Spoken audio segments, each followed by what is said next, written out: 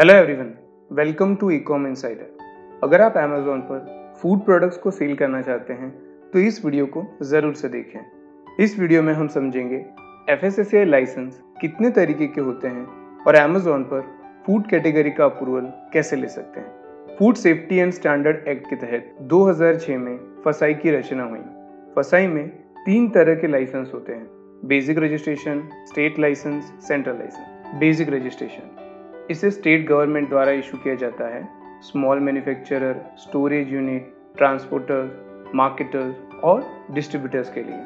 इसमें कंपनी, जिनका annual turnover 12 lakh होता है, और लाइसेंस की वैलिडिटी मैक्सिमम पाँच साल से लेके मिनिमम एक साल तक की रहती है। स्टेट लाइसेंस में पहले दो गाइडलाइंस सेम रहेंगे। उसके बाद थर्ड में कंपनी का ऑपरेशन सिर्फ़ एक ही स्टेट में होना चाहिए, और इसमें कंपनी का एनुअल टर्नओवर दो लाख का होना चाहिए। Central license food import export businesses large manufacturers central agency operators airports वगैरह के लिए इशू किया जाता है सेंट्रल गवर्नमेंट के द्वारा। फ़ूड कंपनीज़ को सेंट्रल लाइसेंस की ज़रूरत है जब उनका ऑपरेशन एक से ज़्यादा सिटी या स्टेट में होता है और ये लाइसेंस 20 करोड़ के एनुअल टर्नओवर कंपनीज़ के लिए होता है। अमेजोन पर फ़ूड प्रोडक्ट सेल करने के लिए सेलर्स के पास स्टेट लाइसेंस होना चाहिए। अब हम अमेजोन पर रिक्वेस्ट अप्रूवल के प्रोसेस को समझेंगे। आपके अमेजोन सेलर सेंट्रल के होम पेज पर राइट साइड पर सर्च बार का ऑप्शन मिलेगा। यहाँ पर आपको grocery and gourmet food search करना है। ओपन होने वाले एक पॉपअप विंडो पर ग्रोसरी एंड गौरमे फ़ूड पर क्लिक करना है। सेकेंड पैराग्राफ में आपको यहाँ पर रिक्वेस्ट अप्रूवल का ऑप्शन मिलेगा। उस पर क्लिक कर दें। यहाँ पर आप मैन्युफैक्चरर है या रीसेलर इसे सिलेक्ट करना है। एक रीसेलर के लिए आपको पहले एक परचेस इनवॉइस सबमिट करना है। इनवॉइस के अंदर आपको इन सिक्स कंडीशंस को ध्यान में रखते हुए शेयर करना है। फ़र्स्ट परचेस इनवॉइस आप जिस दिन अप्लाई कर रहे हैं, उस दिन से 180 दिन के अंदर का होना चाहिए। आसानी के लिए यहाँ पर आपको डेट दी गई है। इस डेट से पहले का इनवॉइस अटैच करना है। सेकेंड परचेस इनवॉइस में आपकी कंपनी का नाम एड्रेस और जीएसटी नंबर आपके अमेजोन अकाउंट की इंफॉर्मेशन के साथ मैच होना चाहिए। थर्ड इसके अंदर आप जिस मैन्युफैक्चरर या डिस्ट्रीब्यूटर से प्रोडक्ट खरीद रहे हैं, उनकी कंपनी का नाम एड्रेस जीएसटी नंबर और उनकी कॉन्टेक्ट डिटेल्स होनी चाहिए। फोर्थ प्रोडक्ट की क्वांटिटीज 10 या उससे अधिक होनी चाहिए। फिफ्थ अगर आप चाहें तो इसमें प्रोडक्ट की प्राइसिंग को हाइड कर सकते हैं। बस ये ध्यान रखें कि आप प्राइस के अलावा और कोई इन्फॉर्मेशन हाइड ना करें। सिक्स और आखिरी आपका इन्वॉइस वेरीफाई करने के लिए अमेजोन आपके वेंडर को कांटेक्ट भी कर सकता है। अगर आप इन्वॉइस के बारे में कुछ और इन्फॉर्मेशन बताना चाहते हैं तो यहाँ कमेंट्स में लिख सकते हैं। अब आगे, आपको फसाई सर्टिफिकेट के साथ प्रोडक्ट और पैकेजिंग के इमेजेस अपलोड करने हैं, जिस पर कंपलसरी मैन्युफैक्चरर का नाम और एड्रेस विजिबल हो। प्रोडक्ट की हर एक एंगल के फ़ोटोज़ लेने हैं, जैसे चार side top and bottom product के फोटोग्राफ्स मोबाइल से खींचे होने चाहिए, डिजिटल नहीं। और इसमें प्रोडक्ट और पैकेजिंग पर लिखी हुई सारी इंफॉर्मेशन को आसानी से पढ़ सके। आप जो फसाई सर्टिफिकेट अपलोड करेंगे, वो फुल फोर पेजर होना चाहिए, जिसमें फ़र्स्ट पेज पर आपका लाइसेंस नंबर होगा, सेकेंड पेज पर प्रोडक्ट एनेक्चर होगा, जिसमें आप जो प्रोडक्ट सेल करना चाहते हैं, वो कैटेगरी शामिल होंगी। थर्ड पेज में वैलिडेशन रिन्यूअल एनेक्चर होगा जहाँ आपके सर्टिफिकेट की एक्सपायरी डेट होगी। फोर्थ और आखिरी पेज पे कंपनी या प्रॉपरेटर की डिटेल्स मिलेगी। के बाद ये सेलर डिक्लेरेशन डॉक्यूमेंट को फिल करेंगे। इसमें आप डिक्लेयर कर रहे हैं कि आपकी प्रोडक्ट की मैन्युफैक्चरिंग एफ़ एक्ट 2006 के गाइडलाइंस के हिसाब से की गई है। यहाँ पर आपको अपनी कंपनी का नाम डालना है, जो आपके एफएसएसए सर्टिफिकेट पर है। अगर आपकी कंपनी का नाम लंबा है तो इसे बिना कैपिटल के लिखें, जिससे ये बॉक्स के अंदर सही से फिट हो जाएगा। अगर आपकी कंपनी एलएलपी प्राइवेट लिमिटेड या लिमिटेड है तो सिर्फ़ कंपनी का नाम लिखना है। और अगर ये एक प्रोपरेटर फर्म है तो कंपनी के नाम के साथ प्रोपरेटर का फुल नेम लिखना है, जैसे जीएसटी या एफ़ सर्टिफिकेट में है। उसके बाद यहाँ पर आपका GST address with pin code लिखना है। अब यहाँ पर आपके अमेजोन सेलर अकाउंट का डिस्प्ले नेम लिखना है। आपके अकाउंट का डिस्प्ले नेम आपके एफ़ सर्टिफिकेट से मैच होना चाहिए। अगर आपने अकाउंट रजिस्टर नहीं किया तो डिस्प्ले नेम सेक्शन में रजिस्ट्रेशन के दौरान ही आपका FSSAI नाम सबमिट कर दीजिए। इसे आप एडिट भी कर सकते हैं। सेटिंग में अकाउंट इन्फो पर क्लिक करें और लेफ़्ट साइड में आपको स्टोर डिटेल्स में आपका नाम सबमिट कर देना है। इन चेकबॉक्स को सिलेक्ट कर लीजिए। नीचे राइट पर सेम डे की डेट डालनी है प्लेस में आपके एफ़ का सिटी डालना है लेफ़्ट में कंपनी का नाम और नीचे एफ़ लाइसेंस नंबर यहाँ पर आपको कंपनी के डायरेक्टर या प्रोपरेटर का नाम लिख के ऊपर उनका साइन करना है।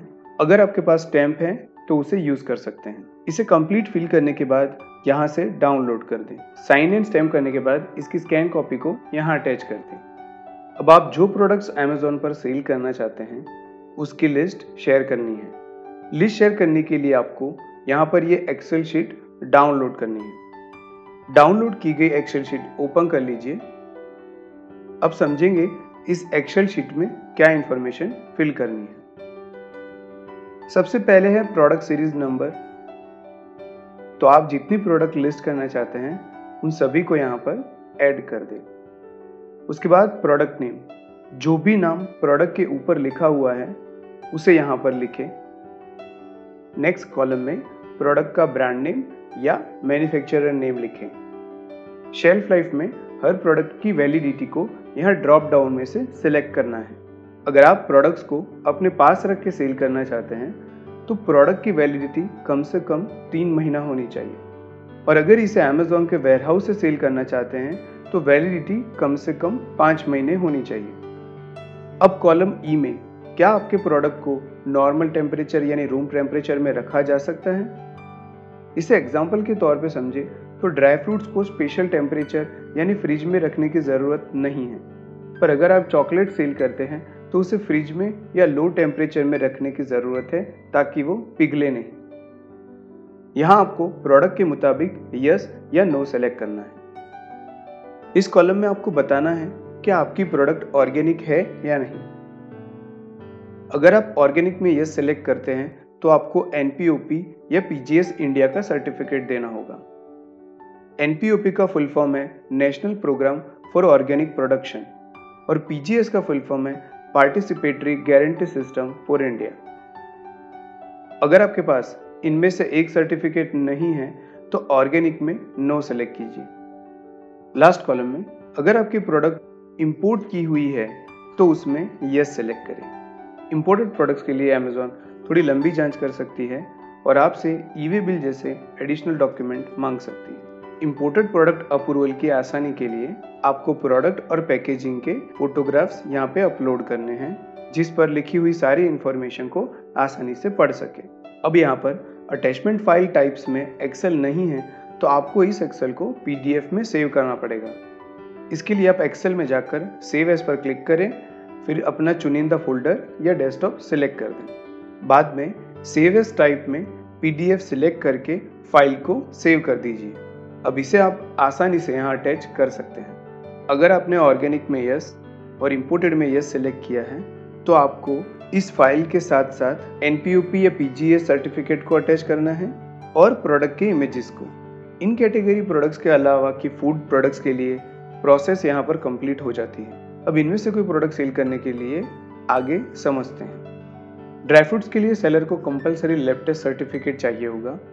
ये लैब एफ़ द्वारा नोटिफाइड और एनएबीएल द्वारा अक्रेडिट होनी चाहिए, वरना आपका सर्टिफिकेट मान्य नहीं होगा। इन लैब्स की लिस्ट के लिए यहाँ दी गई लिंक पर क्लिक करना है। ये रीडायरेक्ट करेगा एफएसएससीआई की वेबसाइट पर। जहाँ पर आपको प्राइमरी फ़ूड लेबोरेटरीज में पूरी लिस्ट मिल जाएगी। इस पर क्लिक करके ओपन करें और स्क्रॉल करके नीचे आए। यहाँ पर आपको 200 से अधिक लैब्स मिलेगी, जिसमें आपके शहर स्थापित लैब से सर्टिफिकेट ले सकते हैं। एक चीज़ का यहाँ पर खास ध्यान रखें, आपकी सिलेक्ट की गई हुई लेबोरेटरी का एन वैलिडिटी एक्सपायर नहीं होना चाहिए। उसके लिए आप यहाँ पर सिलेक्ट की गई लैब का वैलिडिटी चेक कर सकते हैं। आखिर में आपको लैब में इन पैरामीटर्स का टेस्ट करवाना है तो आप ध्यान से ये पैरामीटर्स लेबोरेटरी के साथ शेयर करें और आपके ड्राई फ्रूट्स अगर लैब टेस्ट में फेल होते हैं तो आपको अप्रूवल नहीं मिलेगा। चॉकलेट प्रोडक्ट्स के लिए सेलर्स को अपनी कंपनी के लेटर हेड पर एक डिक्लेरेशन देना होगा कि वो प्रोडक्ट को शिपिंग के दौरान जेल पैक्स को यूज़ करेंगे, ताकि कस्टमर के पास पहुँचने तक चॉकलेट्स पिघले नहीं। बाकी इन कैटेगरी प्रोडक्ट्स के लिए सेलर्स के पास valid B I S certificate होना चाहिए। आखिर में आपको अपना ईमेल एड्रेस और मोबाइल नंबर डाल के सबमिट कर देना है। और अगर आप एक मैन्युफैक्चरर हैं तो आपको परचेस इन्वाइस सबमिट करने की ज़रूरत नहीं है। डायरेक्ट फसाई सर्टिफिकेट से ही स्टार्ट करना है। आपके फसाई सर्टिफिकेट में काइंड ऑफ़ बिज़नेस में मैन्युफैक्चरर होना ज़रूरी है। इसके साथ आप जो प्रोडक्ट के इमेजेस अटैच करेंगे, उसके ऊपर मैन्युफैक्चरर में आपकी कंपनी का नाम होना चाहिए। आगे की प्रोसेस जैसे हमने रीसेलर में इस वीडियो में देखी, वैसे ही कंप्लीट करनी आप अपनी एप्लीकेशन का स्टेटस केस लॉग में चेक कर सकते हैं। इसे अप्रूवल होने में तीन से सात दिन तक का समय लगता है। और अगर अमेजोन को कोई एडिशनल इन्फॉर्मेशन चाहिए होगी तो आपको यहाँ नोटिफाई करेगा। अब लास्ट स्टेप सेटिंग में बॉटम में आपको योर इन्फोर पॉलिसी मिलेगा, उस पर क्लिक कर दीजिए। उसके बाद अबाउट सेलर पर क्लिक कीजिए। यहाँ पर आपको अपना एफ़ नंबर लिखना है। और अगर आप रीसेलर हैं तो आपके मैन्युफैक्चरर और आपका दोनों का एफ़ नंबर लिखना है। यह आपके अप्रूवल रिक्वेस्ट रिव्यू का पार्ट है तो इसे ज़रूर से कंप्लीट करें।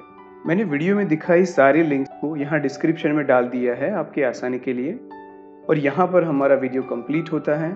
Thanks for watching our video ऐसे और वीडियो देखने के लिए हमारे चैनल को सब्सक्राइब करें।